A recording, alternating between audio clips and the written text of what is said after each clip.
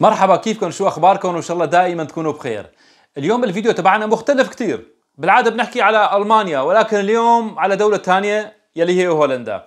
وإن شاء الله بالأيام الجاية راح نحكي على كتير دول أوروبية أو على معظمها يعني وكمان يمكن أمريكا كمان بالأيام الجاية. كثير ناس سألوني على موضوع هولندا على الإقامات ولم الشمل وكثير قصص. ومين فينا نجيب بلم الشمل ل... وبالذات للأطفال يلي لقديش عمر مثلا مسموح. لهيك الموضوع اليوم لكل حدا مقيم بهولندا أو للناس اللي بدهم يجوا لعند آه، أهاليهم بهولندا. أول شغلة بنصح فيها إنه خاصة المتزوجين أول ما توصلوا آه، يعني قبل ما تطلعوا كمان جيبوا أوراقكم. جيبوا أوراق يعني إذا أنت متزوج جيبوا أوراق الزواج بشكل عام. بيانات الولادة بيان العائلي دفتر العائلة آه، عقد الزواج كل شيء أوراق عندكم. أوروبا بلد الأوراق بيهتموا وبيعترفوا بالأوراق كثير طبعا كل شيء لازم يكون مصدق من الخارجية السورية كمان. بتجيبوا كل هاي الأوراق معكم. أول ما توصلوا على هولندا بأول محكمة بتخبروهم فورا إنه أنا متزوج عندي ولد ولدين ثلاثة أربعة. هاي اسمائهم هاي الإثباتات بتقدموها كلياتهم. هاي زوجتي مثلا طبعا أكثر من زوجة واحدة ما فيكم تجيبوا. آه في طرق ثانية طبعا. هاي بتقدموا الأوراق إنه أنا بدي أجيب عيلتي. وكمان بالنسبة للأوراق لازم تترجم. تترجم طبعا بصير باللغة الإنجليزية وبهولندا بصير بالفرنسي كمان. ولكن أنا آه وكمان أنا بنصحكم إنكم آه ترجموها بالهولندي أفضل وكمان بهولندا. يفضل ترجموها بالهولندي وبهولندا كمان. يعني مو بسوريا أو بالدو يعني إذا أنتم غير سوريين مثلا. يفضل بهولندا ترجموها باللغة الهولندية أفضل أنا بنصحكم كمان آه، يعني لنفرض اليوم أخذتوا اقامتكم بهولندا مباشرة لا تأجلوا. معكم ثلاثة شهور انكم آه، تقدموا و يعني على مشمل لاولادكم مثلا لعائلتكم اليوم أخذت الإقامة لا تأجل. مباشرة ثاني يوم فورا روح قدم على الشمل لعيلتك وكمان لا تنسوا أنا بفضل وبنصحكم نصيحة ثانية إنه أول ما توصلوا على هولندا احجزوا موعد لعائلتكم بالسفارات. بالسفارات اللي مثلا آه، مثلا عائلتك وين آه، أسهل مكان فيها تروح عليه بأي دولة احجزوا له الموعد هنيك. آه، مشان بعدين يعني بس تاخذوا الإقامة تحجزوا الموعد ليش هيك؟ راح يتأخر. أول ما توصلوا على هولندا مباشرة احجزوا الموعد بالسفارة. ما بدها شيء سهلة كثير قدمتوا الأوراق آه، هلا في حاله إذا صار في تأخير مثلا بموضوع الأوراق مثلا إذا يعني صار مضى أكثر من ثلاثة شهور ولسه عم تشتغل بأوراق لم شه آه، أوراق عفوا آه، لم شمل ما في مشكلة. إذا قالوا لك في ورقة ناقصة بتجيبها في هاي الورقة الفلانية ناقصة بتجيبها. لهيك عم أقول لكم ديروا بالكم من موضوع الأوراق جيبوا كل شيء أوراق عندكم وترجموها صدقوها بالوزاره الخارجية ببلدكم وترجموها بهولندا. هلا بالنسبة للأطفال هذا السؤال كثير عم بنسأل عليه باللايف على التيك توك أو على الفيسبوك آه كمان آه الأطفال يا ترى لأي عمر فينا نعمل لمشمل لأطفالنا؟ يعني مثلا لل 18 بس ولا أكثر هلأ آه قانونيا لل 18 بس قانونيا. ولكن في تجاوزات كثير ولكن هي يمكن مو اسمها تجاوزات في يعني ما بعرف آه، سموها أنتم مثل ما بدكم يعني مثل موضوع يعني البصمة. قانونيا ما بصير إنه إذا عندك بصمة تجي تروح على دولة ثانية آه، تقدم لجوء ولكن بصير وبتصير. كمان نفس الشيء. أكثر من 18 سنة ما بصير تعملوا لم شمل بهولندا. يعني أكثر إذا ابنك أكثر 18 ما بصير.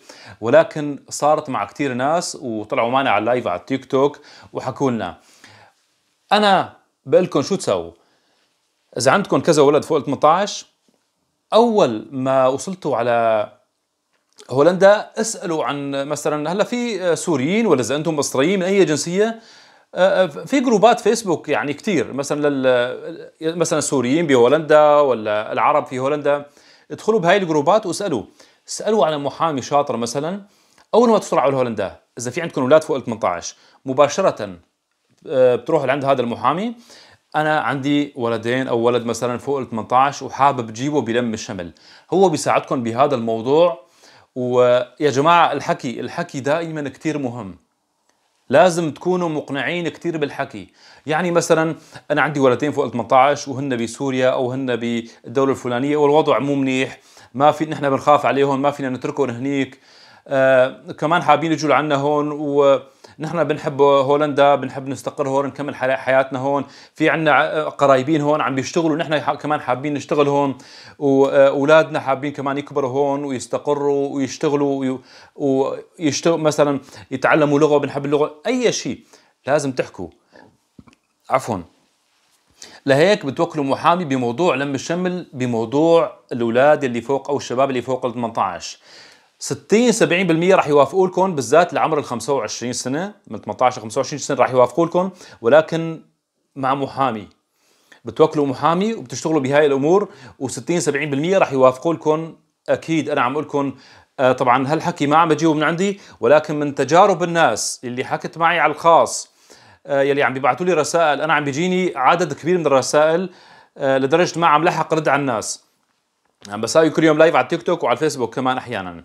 لهيك تجارب الناس عم نحكيها. تج... ما عم بجيب كلام من عندي تجارب الناس عم نحكي لكم إياه. بتوكلوا محامي مباشرة. أول ما توصل على هولندا. آه بالنسبة لموضوع مثلا في حالة اذا عائلتكم راح تجي يا جماعة على هولندا. آه في شغلة كمان.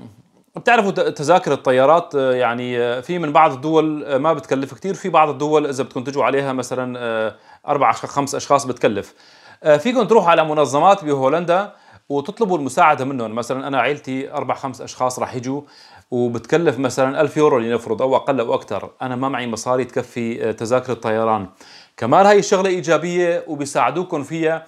يمكن بيعطوكم المبلغ كامل أو أقل شيء 60% مثلا من المبلغ. هاي كمان كثير مهمة لا تنسوا انكم تساووها. أنا حبيت أعمل آه هذا الفيديو لكثير ناس عم يسألوني عن موضوع آه هولندا وبالنسبة للم الشمل كمان آه هاي كثير مهمة. ولكن آه في شغلة كمان لا تنسوها. آه هولندا إذا مثلا صار في انفصال بين الزوجين الإقامة بتنسحب من المرأة. يعني ملفها بصير لحاله بشكل عام. يعني هلأ إذا البنت وصلت على ألمانيا للأسف عم بتصير كثير هيك شغلات. عفوا على هولندا. وقررت الانفصال. بهالحالة آه شو بيصير؟ ملفها بينفصل لحاله بشكل آه نهائي وبتنسحب من الإقامة تبعها ولكن بتاخذ إقامة ثانية ولكن بدها وقت. بدها وقت ما راح تكون سهلة يعني فورا مثل أول مرة لأن خلاص هي إجت وأخذت إقامة على زوجها على ملف زوجها. أهم شيء بهذا الموضوع إنه موضوع الأطفال لم شمل الأطفال آه مثل ما قلت لكم فوق ال 18 بصير ولكن من غير محامي شوي راح تكون صعب عليكم. وفي عالم بهولندا تواصلوا معي ما وكلوا محامي ابدا. آه في شخص آه تواصل معي.